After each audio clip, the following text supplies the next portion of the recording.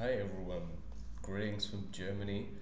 This is Maximilian Geschke, the director and producer of the film In Between Fridays. Uh, we're super excited and super honored to be here today and be able to show you guys our film, which is about um, a family or better a community now uh, that lives in the mountains of South Portugal um, and found a really interesting business idea, the pizza night. Um, as the name says it, it's an all-you-can-eat pizza buffet uh, with a party afterwards, which became one of the biggest events in the south of Portugal.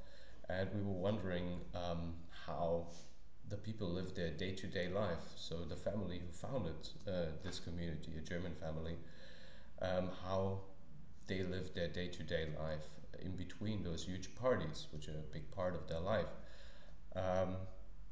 So yeah, we, we're super excited to be able to show you the film and um, we're happy to hear from you guys and we're happy for any feedback you have, any questions you have, uh, feel free to contact us.